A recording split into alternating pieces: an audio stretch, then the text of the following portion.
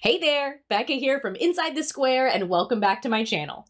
In this video, I'm going to teach you how you can recreate the image block designs that we used to have in the classic editor of Squarespace using Fluid Engine, the new editing experience. Now, if you have no idea what I'm talking about, I've got a free training video for you. Check out the related links listed below and head on over to insidethesquare.co forward slash fluid to learn more about the new editing experience available as of July 2022.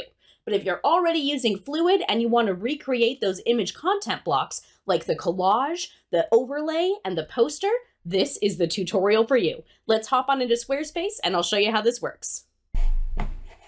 So here we are inside Squarespace, and these are the three image layouts we're going to recreate using Fluid Engine. Collage, Overlay, and Poster.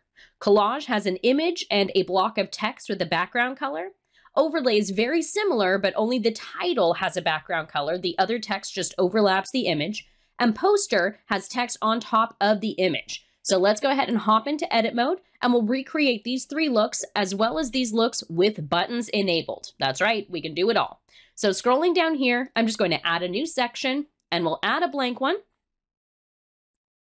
And let's go ahead and add our image block first. I'm going to select add block and I'll grab an image and we'll place it right here. Now the first one we're recreating is the collage. I'm going to go ahead and make this a little bit longer and we'll add an image. I'm going to click the plus sign and I'll just select one that's already available on my site. There we go. It's loading. It's an image of some water. We're doing Fluid Engine, so it seemed appropriate. Now you'll notice right away this image is stretching to the left and the right border of the actual content block, but it doesn't stretch all the way to the top. If you want it to fill the entire container, select this icon to edit, select Design, and click on Fill. That'll fill the entire container with your image. Fit will keep it in proportion and stretch it from one edge to the other, either horizontally or vertically, depending upon your image itself. But if you select Fill, it'll stretch to fill the entire container. All right, let's go ahead and add a block of text. I'm to select Add Block, and we'll move some text over here so it overlaps the image just like we're used to with the standard card. I'm going to click in here and we will go ahead and add a title. I'll enter a new line. You'll notice the image automatically stretched a little bit more and we'll fix that in just a second here. We'll add a title and we'll add some descriptive paragraph text. There we go. Now I'm going to highlight this title and make it a different font size. Now it stands out a little bit more. And let's go ahead and stretch this block down a bit and stretch it over the side a bit as well. Now this did stretch out my image as soon as I started typing. I'm going to press G on my keyboard so we can see this isn't perfectly centered. I've got two rows above. Do you see those two squares? And then underneath, I've got three rows. So I'm going to go ahead and click on my image and we'll pull it up by one. There we go. Now this block is centered. So here's the fun part, a little known trick. If you click on your text block and either hit enter on your keyboard or click this edit icon, we can give this a background. That's right, we have backgrounds enabled for all text blocks inside Fluid Engine.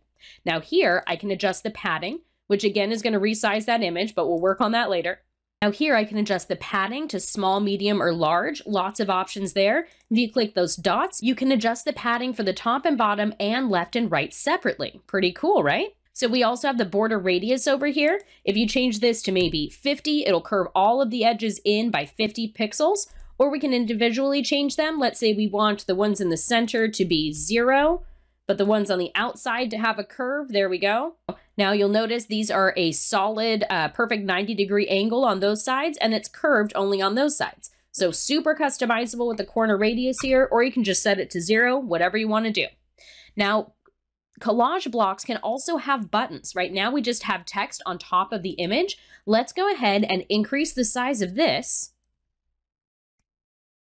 And we'll increase the size of our image and we can add a button. I'm going to select add block and I'll move a button over here so it's right on top of everything. There we go. Now I have a title, descriptive paragraph text, and a button inside a block on top of an image. Now you'll probably remember in the classic editor of Squarespace, we can change the width of the image and the block itself. If I click on this image, I can change the width of it to take up more space or take up less space, super customizable. Very important though, as soon as you've styled it the way you want it to look on desktop, I want you to hop into the mobile version of your site and make sure it looks great there too. Fluid Engine will place these content blocks in the order that you added them. So that's why we had the image first, then the text, then the button. You can actually use the editor here to adjust the size on just the mobile version. If you want to change that around a little bit, maybe create a layer, maybe pull that button up to the bottom and then change the actual height of the section. Super customizable because check it out. If we go back to desktop view, it's still exactly the same as we left it. Pretty cool, right? So definitely make sure you add this in order, image, then block of content, then the button. Now scrolling up here, we just created the collage. Let's create the overlay. Overlay is slightly different. Overlay just had a background for the title, not the descriptive text. So let's go ahead and remove this second line of text. We'll add a block, put in another block of text right here, and we'll go ahead and stretch this to take up as much space as we want, and we'll type out the description for our overlap image there. Now, because this is Squarespace, you can take this text block and you can make it any type of text that you want. Maybe instead of a heading, you just want it to be paragraph one, which will make it a lot smaller.